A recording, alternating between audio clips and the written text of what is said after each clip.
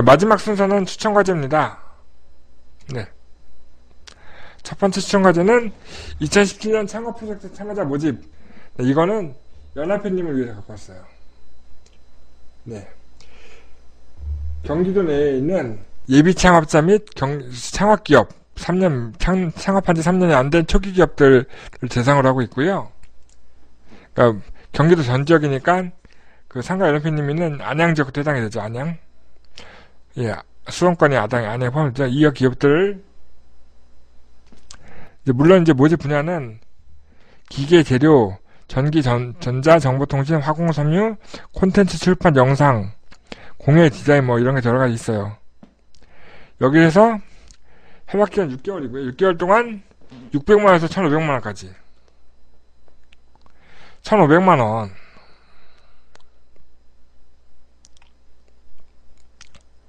1,500만원까지 준대요. 근데 이거는 사학객서 쓰는 게 되게 양, 장수가 다섯 장? 다섯 장 그런 것 같은데. 되게 간단해. 다른 사학객서도 되게 쉽게 쓸 수 있대요.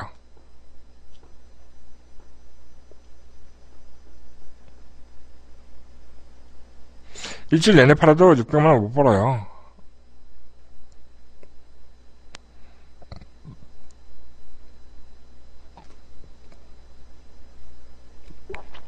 아, 안 된다. 떡볶이 안 된다. 여기 제외업종 있네. 제외업종. 도소매업 안 되고요. 음식업 안 되고. 네. 영상업은 되니까 영상업 같은 거 하면 영상 공예 디자인 같은 거 하면 되겠네. 공예 디자인. 아이디어 창업. 아, 안양 사는 제 친구가 그, 그 팔찌 같은 거 만드는 악세사리 공방을 만들고 싶어 했는데 이거 해보라고 했네요. 그죠? 괜찮은데요?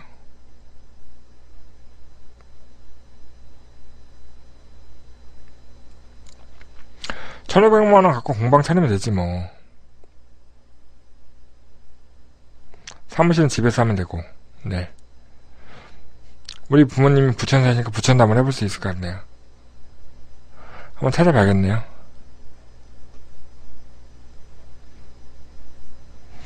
아, 이거 제 그 친구 중에, 아, 후배구나. 후배 중에 남양주 사는 영상하는 친구인데 그 친구한테 창업하라고 해야겠네. 한번 이거 할 얘기가 많네요. 그죠? 네, 다음 추천 과제는요? 네. 이것도 지역 특화입니다. 지역 특화 산업 육성 사업. 네. 지역별로 육성하고 싶은 사업들이 있는 것 같아요. 그래서 대전은 로봇 자동화, 금속가공, 무선통신 융합. 뭐 대구는 스마트 직 서비스. 세종시는 자동차 부품 바이오 소재. 부산은 디지털 콘텐츠. 광주 그리고 뭐 충북 뭐 이렇게 쭉 있네. 충북은 태양광. 지원 규모는요, 네. 과제당 품목지, 이렇게 품목이 지정되어 있는 거는 4억 이내. 품목 지정되어 있는 자유공모는 연 3억 원 이내. 기업 지원은 5억 원 이내. 좋네요. 그 시에서 지정했겠죠, 그 지역에서. 돈 주는 사람이 지정한 거지, 뭐 별거 있습니까?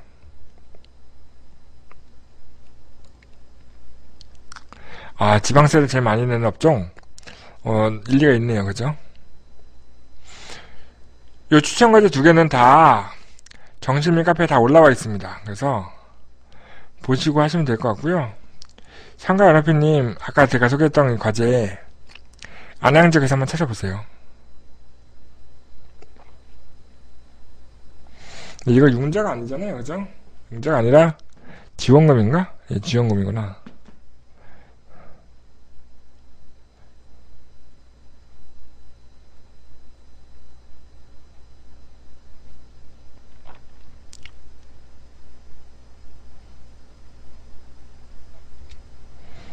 네, 이렇게 해서 오늘 방송 54분 했습니다. 네. 방송에 참여하시려면 연락 주시고요. 네. 오늘 방송 질문 없으시면 6분 있다 마무리 하겠습니다. 네. 벌써 끝은 30분 하라 1시간 됐구만. 제 방송이 그렇게 재밌습니까?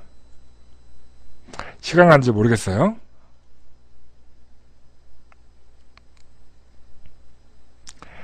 팟캐스트 언제 하냐고 묻지 말고 빨리 연락을 달라고요.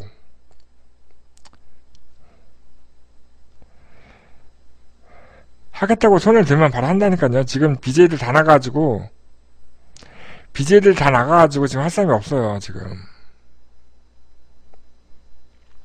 저 혼자 다 방송할 수 없, 혼자 라디오 방송할 수 없으니까 라디오 방송은 주고받는 얘기를 해야 하니까 그 같이 얘기할 사람이 있어야 합니다. 네.